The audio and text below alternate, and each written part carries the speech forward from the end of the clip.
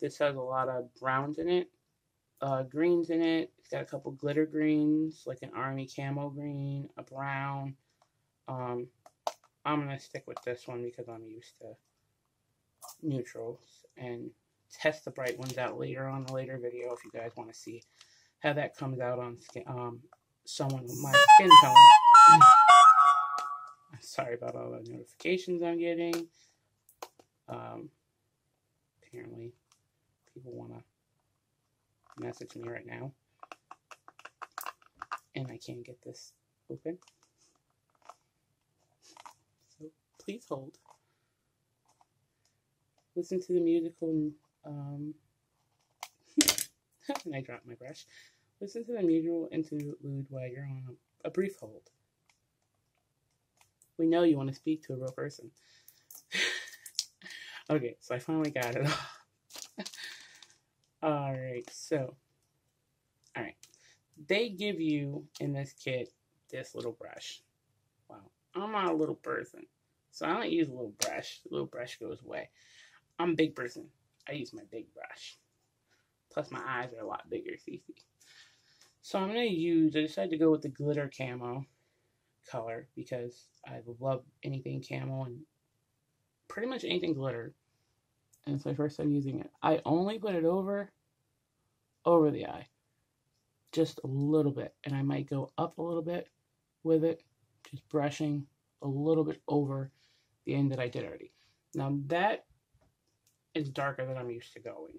So I'm probably going to brush that part off, but I will keep the part, or you can get your concealer again and fix that part. Or if you like the smoky eye look because your complexion goes well with it, you keep the smoky eye look. But I'm more of a over the lash girl. So, don't know how well you can see that. But it's a nice little camel green. Sorry, I'm trying to show you. Let's see. If I move this, I feel like I'm going to break something.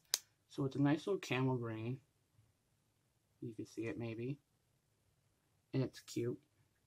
Um, so that's my complexion tone that I like. Just to match it up with the other side so I don't look all crazy. I'm going to put a little over there, but I didn't go crazy with it. Alright, so. Yes, just eyes is what I focus on. And the second part I focus on is my lips.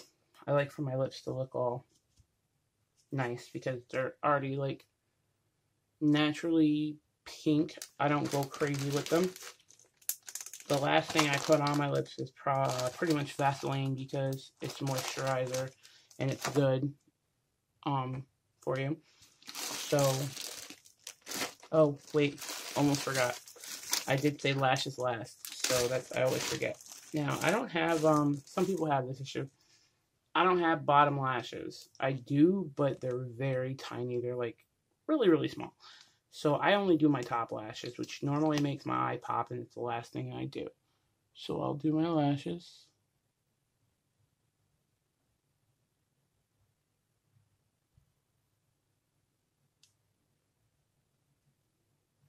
And as you can see, they already have started to pop, which makes the rest of the look.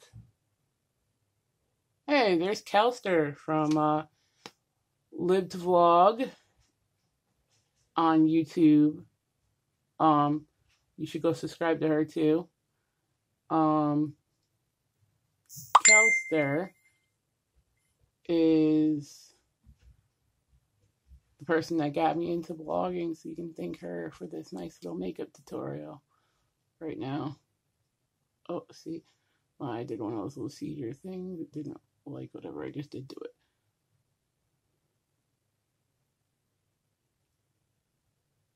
Alright, so boom. You got the lashes on. Now, I want to jump straight to my lips, I guess. So, we're going to go to lips. And lips are before anything else. Anything at all. I like to... These are glosses. Uh, they are from Glam and Beauty, but this prod product dries your lips out.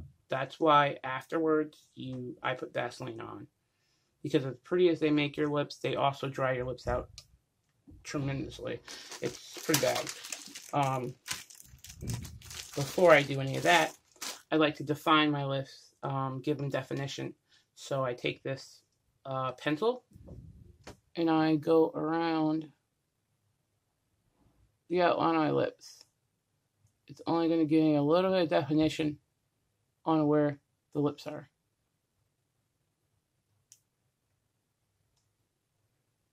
And sometimes I do the bottom, but sometimes it comes out funky. So I, I change it. I know, yeah. So I just do the top because I don't want to do too much of that. So, see they define my lips already on camera. You can see the top lips looks very defined. Now, I have two different glosses. I have a very bright pink and I have a very mild nude-ish gloss pink. I like my bright pink because it really brings out the lips. So I just go across. I'm running out of this, but I go across, my lips are very dry. Go across my lips with this to give them color. All I'm doing. Gonna have to use the other one so you can really see the color.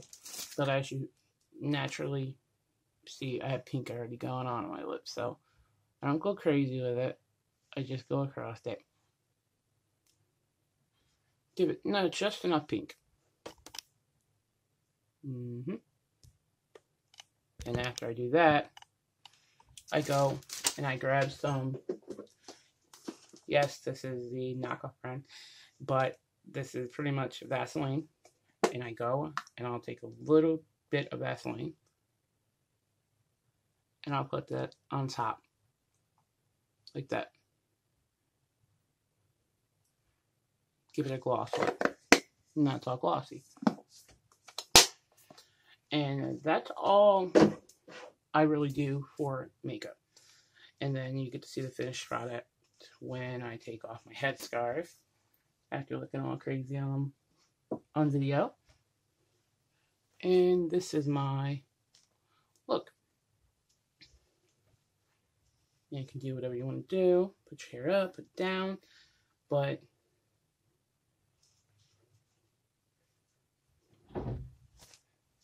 as you can see, definition of lips, eyes, and it looks much better. You can hardly tell the, the leaky capillaries. You can tell they're there, but they're hidden a little bit behind the makeup. So if you have the leaky capillary problem, hopefully this video helped you with it. And I hope you guys subscribe, and maybe I'll do future videos of makeup if you are interested in seeing what I do to hide uh, leaky capillaries or how I do eye makeup. I have no problem coming back on and uh, doing another tutorial. All right, you guys stay classy. Thanks for coming in and seeing me. See you soon.